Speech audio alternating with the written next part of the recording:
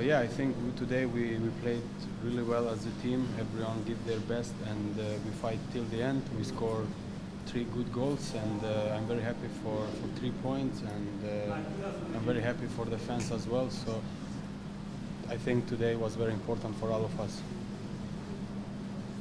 Bugün çok iyi oynadık. Hepimiz elimizden geleni yaptık. 3 güzel gol attık ve sonucunda da 3 puana ulaştık. Taraftarımızı mutlu ettik ama hepimiz için de çok önemli bir galibiyetti aynı zamanda. Yeah, today everyone showed their, their reaction. We had uh, two, three days good training, and uh, I think you could see also in the game we played with uh, really high intensity, and uh, we just should keep going like this. Yeni fikirler ve farklı bir enerjiyle geldi hocamız ki bizim buna da ihtiyacımız vardı. Herkes de bir reaksiyon gösterdi. Bugün 2-3 gündür birlikte itman yapıyoruz. Bugün de görmüşsünüzdür oyunumuza yansıdı bu tempolu ve şiddetli bir oyun oynadık.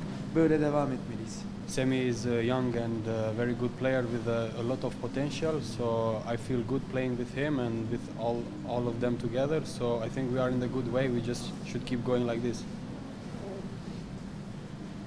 Sadece ikimiz değil aslında takımımız bize yardımcı oluyor. Bizi iyileştiren unsur takımımız, takım arkadaşlarımız. İtmanlarda çalıştığımız şeyleri yapıyoruz. Özellikle kale önünde bitiricilik anlamında daha iyi olmak için çalışıyoruz. Şu anda da işe yarıyor. Semih genç bir oyuncu, potansiyel sahibi bir oyuncu. İyi yolda devam ediyoruz ve bu şekilde devam etmeyi istiyoruz. They are trying to, in these two, three days, they were trying to, to help us with all the details that they see from before, and uh, now we will have uh, more days to, to work together and to try to be better. Ee, hepimiz aslında onun oyun tarzını, hocamızın oyun tarzını biliyoruz. Kendi fikirleri var, farklı fikirleri var. Bir kendi ekibi var.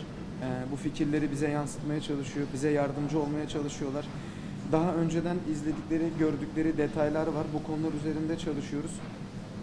Ee, önümüzde zaman da var. Daha da iyi olacaktır. Teşekkür ederiz. Thank you.